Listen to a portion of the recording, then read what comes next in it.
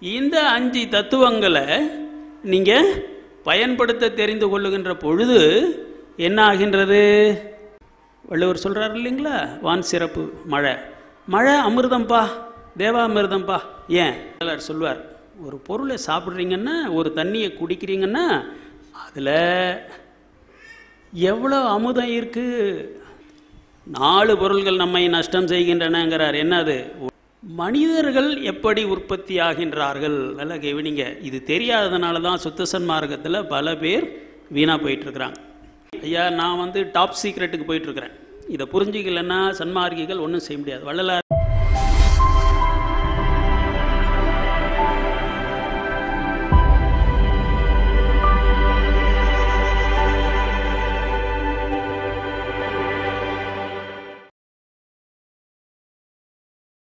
இந்த மேல்நிலையை எப்படி கடக்கிறது? ஆரம்பித்த இடத்துக்கு வரேன் இந்த செல்ஃபோன் எப்படி வேலை செய்யுது உள்ளார சிலிக்கான் இருக்கு. சிலிக்கான்றது வெறும் மணல் மண். சரி. அந்த மணலில் ஒரு நினைவாற்றல் இருக்கின்றது. அந்த நினைவாற்றலை ஒரு கருவியாக்கி பயன்படுத்தி கொண்டால் நம்ம மூளை செய்கிற வேலையெல்லாம் அது செய்யுது. அதை விட இன்னும் அதிகமாக செய்யுது. அப்போ என்ன அர்த்தம்? மண்ணுக்கே இவ்வளவு ஆற்றல் இருக்குன்னா அதை விட மேலான தண்ணீர்.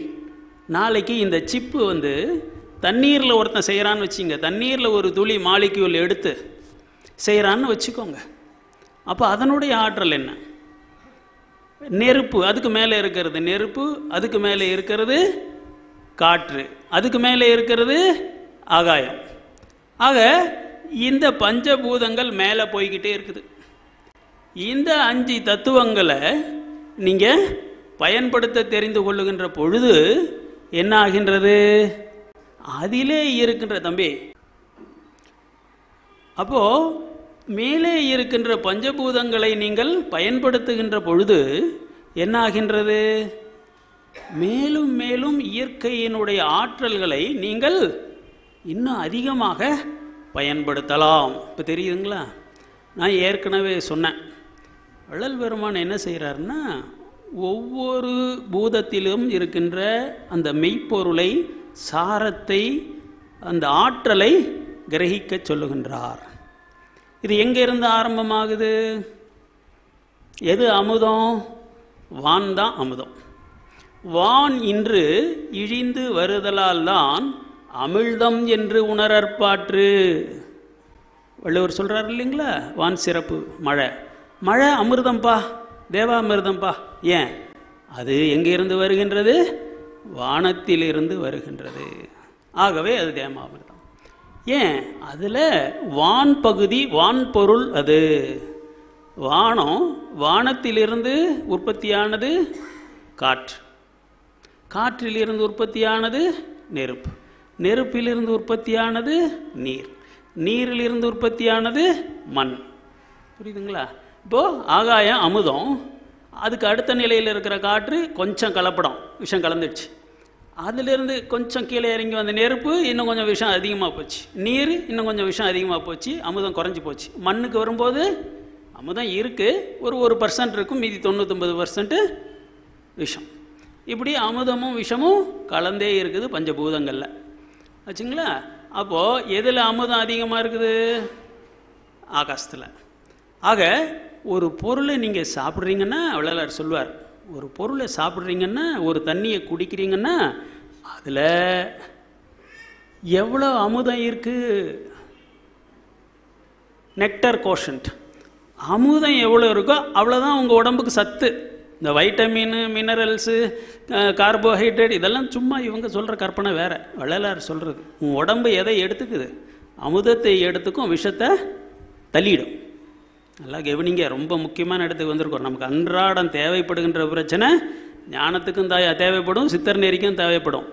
ஆக ஆகாயம் எந்த அளவுக்கு நம்ம உடம்புக்குள்ளார போகுதோ அந்த அளவுக்கு நமக்கு ஆயுள் ஆரோக்கியம் அறிவு அன்பு எல்லாம் கூடும். நல்லது பூரா அதிகமாகும். இந்த விஷம் அதிகமாக போக போக நோய் வரும் முதுமை வரும் மரணம் வரும் கஷ்டம் வரும் எல்லாம் வரும். ஆக உள்ளே என்ன போகுதோ அதுதான் உடம்பாகுது. அதுதான் வெளியில் வரும். அதனால் வள்ளல் பெருமான் என்ன சொல்கிறாரு தம்பி ஜாக்கிரத. நீவீர் உண்டதெல்லாம் மலமே உட்கொண்டதெல்லாம் குறையே. கற்றதெல்லாம் பழுதே கேட்டதெல்லாம் பொய்யே. ஏன் அப்படி சொல்கிறாரு உலகியலீர். நம்மளை பார்த்து சொல்கிறார் இதுவரையும் உண்மை அறிந்திலீரே. உண்மையை தெரிஞ்சுக்கோப்பா. வீணா போகிறீங்க ஏன்? தப்பான பொருள். விஷத்தெல்லாம் உள்ளார விடுற. அந்த விஷம் போயும் உடம்பு கெடுக்குது நோயை உண்டாக்குது மனசை கெடுக்குது மனநோய் உண்டாகுது முதுமை உண்டாக்குது மரணத்தை உண்டாக்குது. அப்போ எதை உள்ளார அனுப்பணும்? அமுதத்தை அனுப்பணும். விஷத்தை நீக்கிட்டு அமுதத்தை அனுப்பணும். அதை எப்படி கொடுக்கறது? உணவில் என்னென்ன அமுதம்? அமுதம் அதிகமான உணவுகள் என்ன? ஒரு பெரிய பட்டியல். உங்ககிட்ட பட்டியலே கொடுத்துருப்பாங்க. இல்லைன்னா எங்கள் தம்பிங்கிட்ட நீங்கள் வாங்கிக்கலாம். வள்ளல் பெருமான் இந்த புஸ்தகத்தில் சொல்கிறார் இப்போது தண்ணியில் ஏது அமுதம்? மழை தண்ணி. அதை சேகரித்து வச்சிங்க ஒரு ட்ரம்மில் முத வர்ற தண்ணி ஒரு அஞ்சு நிமிஷத்தை விட்டுருங்க. அப்போ குப்பை தூசு எல்லாம் ஆகாசத்தில் இருக்கிறது அதில் வரும். அஞ்சு நிமிஷத்தை விட்டுருங்க. அப்புறம் சேகரித்து வச்சுப்போம் அது அஞ்சு லிட்டரை ரெண்டு லிட்டராக சுண்ட வச்சு அதில் சுக்கு. அந்த சுக்கில் இருக்கிற விஷயத்தை நீக்கிறதுக்கு சுண்ணாம்பு தடவி அதை சுண்ணாம்பையும் எடுத்துட்டு பொடி பண்ணி அந்த சுக்கை போட்டு சாப்பிடுங்க. இப்படி வெறும் மழை தண்ணியை சுட வச்சு சாப்பிட்டுட்டு இருக்கிறவங்கலாம் இன்னும் இருக்காங்க சுத்தசன் மார்க்கத்தில். வேறு எதுவும் கிடையாது. ஒரு நாளைக்கு ரெண்டு லிட்டர் வெந்நீர் மழை தண்ணி குடிச்சிட்டு உயிரோடு இருக்காங்க.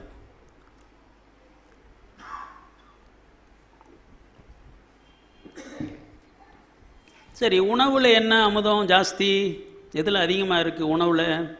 ஏற்கனவே உங்களுக்கு சொல்லியிருக்கோம். பேயன் வாழைப்பழம் அஸ்தாலி வாழைப்பழம். இல்லையா?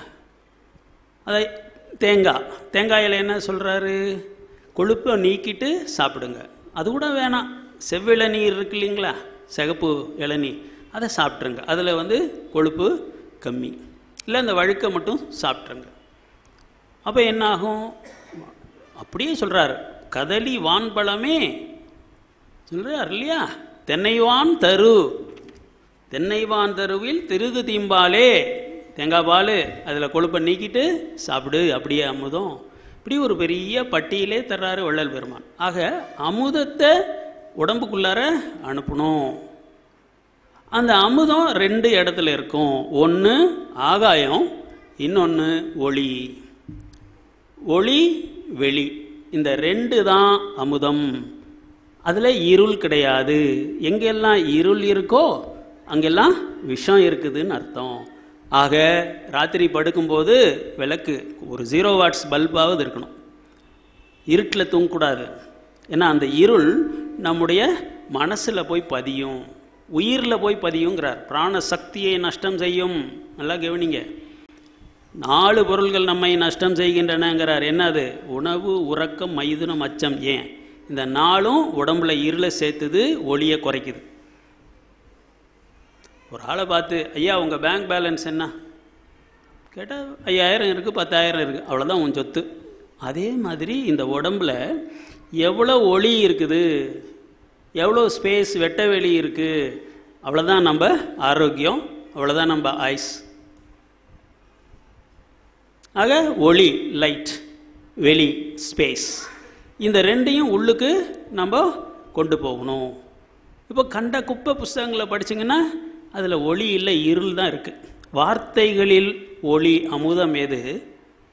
வார்த்தைகளில் சொற்களில் விஷம் எது? கண்ட குப்பை புஸ்தகம் படிக்கிறீங்க? உள்ளார காசு வாங்கி சாக்கடை உள்ளார தள்ளுறீங்க? இருளை சேர்த்து சேர்க்கின்றீர்கள் அருட்பாவை படிங்க அப்படியே ஒளி பொருள் லைட் மனசை சுத்தம் பண்ணும் உயிருக்கு ஆற்றலை கூட்டும். புரியுதுங்களா? இப்போ ஒவ்வொன்றிலையும் இந்த ஐந்து புலன்கள் வழியாக வெட்டவெளி ஸ்பேஸு லைட் இந்த ரெண்டும் இருக்கிறத மட்டும் உள்ளார அனுப்பணும். மனசில் ஒளியை மட்டும் உள்ள ஞான நூல்களை மட்டும் படிக்கணும். தேவாரம் திருவாசகம் திவ்ய பிரபந்தம் அருட்பா இப்படி படிங்க. கண்டதெல்லாம் மர்ம நாவல் அது இதெல்லாம் படிச்சிங்கன்னா வீணாக இருள் தான் மனசில் போய் சேரும். ஆக இதை நீங்கள் உள்ளார அனுப்பிக்கிட்டே இருக்கணும். சரி இப்போது இந்த வானம்தான் அமுதம் என்கின்ற ஒரு இடத்துக்கு நம்ம வந்தோம் இல்லைங்களா? இப்போது மனிதர்கள் எப்படி உற்பத்தி ஆகின்றார்கள்? நல்லா கெவினிங்க. இது தெரியாததுனால தான் சுத்த சன்மார்க்கத்தில் பல பேர் வீணாக போயிட்டுருக்குறாங்க ஐயா கரிசலாங்கண்ணி சாப்பிட்றேன் தூதுவளை சாப்பிட்றேன் முசு முசுக்கு சாப்பிட்றேன் வல்லாரை சாப்பிட்றேன் புளியாரை சாப்பிட்றேன். அப்புறம் ஏன் செத்து போகிறேன் இதெல்லாம் எதுக்கு இப்போ உதவும்? ஓரளவுக்கு ஆரோக்கியத்தை கொடுக்கும் உடம்பை சுத்தம் பண்ணும். ஆனால் மரணம் என்பது காலகாலத்துக்கு இருப்பது எது வரைக்கும் வேலை செய்யுது? அஞ்சு உடம்புங்களை தாண்டி ஆத்மாவை தாண்டி வேலை செய்யுது. இப்போ அந்த இடத்துக்கு நீங்கள் போகணுன்னா இந்த மனித நிலையை கடக்க வேண்டும். நல்லா தெரிஞ்சுங்க சன்மார்கிகளுக்கு முக்கியமாக குறிப்பாக நான் சொல்கிறேன் இப்போ நம்ம எங்கே பிறந்திருக்கிறோம்? தந்தையினுடைய ஜீவ துளியிலிருந்து அது திரவமாக இருக்குது மண்ணாக இருக்குது அதிலிருந்து பிறந்திருக்கிறோம். அதிலிருந்து பிறந்ததுனால இந்த உடம்பு இப்படி தான் இருக்கும். அதனால தான் சித்தர்கள் சொல்லுவாங்க மாற்றி பிறக்கும் வகையறியேனே.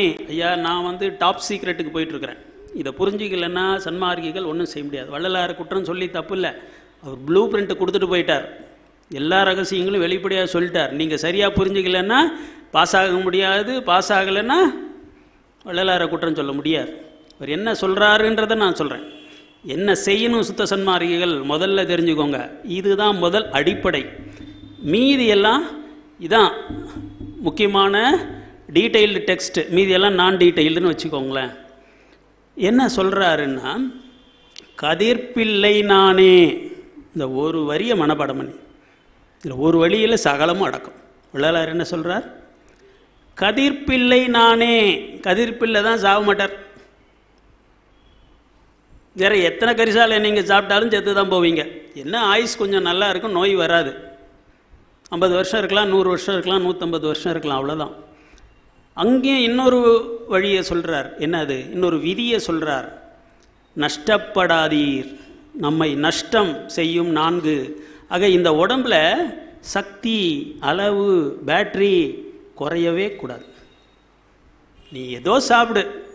ரொட்டி சாப்பிடு சோறு சாப்பிடு இல்லை கரிசாலை எதை சாப்பிட்டாலும் சரி ஒவ்வொரு வினாடியும் உன் உடம்புல வழி எறிதல் பாரு திருவள்ளுவர் நாயனார். உன்னுடைய ஆற்றலின் அளவை அறிந்து கொண்டிரு. எனர்ஜி லெவல் என்ன? சக்தி எவ்வளோ இருக்குது? நேற்றுக்கு இன்னைக்கு குறைஞ்சிருக்குதா? ஜாஸ்தி ஆயிருக்கா? குறைஞ்சிருந்ததுன்னா எங்கேயோ கோளாறு. என்ன கோளாறு? சாப்பிட்டதுலையோ சுவாசித்ததுலையோ தண்ணி குடித்ததுலையோ மருந்து சாப்பிட்டதுலையோ எதுலேயோ ஒரு கோளாறு இருக்குது அது உன்னுடைய சக்தியை குறைக்குது நிறுத்ததை.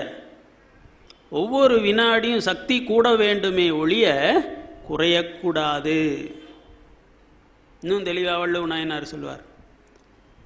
ஆகாறு அளவிட்டிதாயினும் கேடில்லை போகாரகலாக்கடை ஐயா வருமானம் ஆயிரம் ரூபா தான் இருக்குது பத்தில் பரவாயில்ல தம்பி. அதுக்குள்ளார செலவு பண்ணும் தொள்ளாயிரத்தி தொண்ணூற்றி ஒம்பது ரூபா தொண்ணூற்றொம்பது பைசா செலவு பண்ணுற வரைக்கும் கஷ்டம் இல்லை. ஆயிரம் ரூபாய்க்கு மேலே பத்து பைசா கடன் வாங்கிட்டேன் மாட்டிக்கிட்டேன். கடன்றது ஒரு பழக்கம். அந்த பழக்கத்தில் போய் மாட்டிக்கிட்டேன்னா வெளியில் வர முடியாது. இன்றைக்கி பத்து ரூபா கடன் வாங்குவேன் நாளைக்கு பத்தாயிரம் வாங்குவேன் நாலு அடுத்த நாள் பத்து லட்சம் ஆகும் அப்புறம் அவ்வளோதான் வாழ்க்கை வீணாயிடும். இதே மாதிரி தான் இந்த உடம்பும் வரவுன்றது நம்ம சாப்பிட்றது உள்ளார அனுப்புறது. உணவாக நீராக காற்றாக. செலவுன்றது நம்முடைய செயல்கள் உடம்பினுடைய செயல்பாடுகள் எல்லாம். ஆக செலவு குறைச்சலாக இருக்கணும் வரவு அதிகமாக இருக்கணும். இந்த எனர்ஜி லெவல் சக்தி ஒரு வினாடியும் ஒரு ஒரு அணு அளவும் குறைக்கூடாது வள்ளலார் ஒரு கவலம் சாப்பிட்டுட்டு மூணு மாதம் சும்மா இருப்பாராம். ஆனால் அந்த காலத்தில் பெரிய ஏஜேஎஸ் பைக்குன்னு வரும். இப்போ இருக்கிற புல்லட்டை விட பெருசாக இருக்குங்க வெளிநாட்டிலேருந்து வரும். அது மேலே ஒரு ஆள் உக்காந்துட்டு இருக்காராம் அவரை தூக்கி அப்படியே பள்ளத்துலேருந்து மேலே போட்டார் மேலே வச்சாராம். அவ்வளவு வலிமை உள்ள உடம்பு. எலும்பெல்லாம் தெரியுமா? வள்ளலாக இருக்கு. ஆனால் பத்து பேர் இரும்பு கடற பத்து பேர் தூக்கிறத தூக்கி இந்தாண்ட போடுவாராம். வலிமையான உடம்பு. எப்படி வந்துச்சு? அதான் சொல்கிறார் அயம் முதலிய செந்தூரங்கள் தாமிரம் முதலிய பஸ்பங்கள். அதை சாப்பிட்லன்னா உடம்புக்கு சத்து வராது. வெறும் கீரையில் சத்து வராது. சுத்தமாகும் உடம்பு இல்லைன்னு சொல்ல. வலிமை வராது. சரி. இப்படி நீங்கள் உடம்புக்கு நுட்பத்தையும் கொடுக்கணும் வலிமையையும் கொடுக்கணும். நல்லா கவனிங்க உடம்புக்கு என்ன தேவை? சக்தி வலிமை வேணும் நுட்பமாகணும். உடனே புரிஞ்சுக்கணும். நோக்கரிய நோக்கே நுணுக்கரிய நுண்ணுணர்வே மாணிக்கவாசக சாமி. கடவுளுக்கே விளக்கம் சொல்கிறார் அந்த உணர்வு நுட்பமாக நுட்பமாகத்தான் கடவுளை பார்க்க முடியும். வள்ளலார் அணுவுக்குள்ளே இருந்த பரமாணு சினேகாணு இதெல்லாம் சொல்கிறார் அப்போவே அப்போல்லாம் ஏது எலக்ட்ரான் மைக்ராஸ்கோப் ஐம்பது வருஷத்துக்கு முன்னால் வெள்ளைக்காரன் ரூதர்ஃபோர்ட் ஆயிரத்தி எட்நூற்றி தொண்ணூற்றி ஏழில் எலக்ட்ரான் கண்டுபிடிச்சு சொன்னான். அதுக்கு ஐம்பது வருஷத்துக்கு முன்னாலே வள்ளலார் சொல்லிட்டார் அணுவுக்குள்ளார எவ்வளவு? அணு துகள்கள் இருக்குன்னு. எப்படி பார்த்தார்? உணர்வு நுட்பமாகிக்கிட்டே போகுது. கடவுளையே பார்த்தார். அதுக்கு மேலே சின்ன பொருள் கிடையாது. பெரிதினும் பெரிதாம் சிறிதினும் சிறிதாம் அரிதீனும் அரிதாம் அருப்பெருஞ்சோதி. அதையே பார்த்தாச்சு. அப்புறம் அணுவெல்லாம் என்ன? அணு துகள்லாம் என்ன? எதை வேணால் பார்க்கலாம். அவ்வளோ உணர்வை நுட்பமாக்கி கொண்டு போக வேண்டும். அதனால தான் மாம்சம் சாப்பிடாதேங்கிற தடிச்சு போயிடும். உணர்வு தடிச்சு போயிடும். மாம்சம் சாப்பிட்றோம் பார்க்க முடியாது கடவுள். கடைசி நிலையில் இருக்கிற அற்பெருஞ்சோதியை பார்க்கவே முடியாது. அதுதான் மாம்சம் சாப்பிடாதேன்றார். முதல்ல வேறு காரணம் ஒன்றும் இல்லை. மீதியெல்லாம் அப்புறம். உங்கள் உணர்வு தடிச்சு போயிடுச்சுன்னா நுட்பத்திலும் நுட்பமான கடவுளை பார்க்க முடியாது. சரி.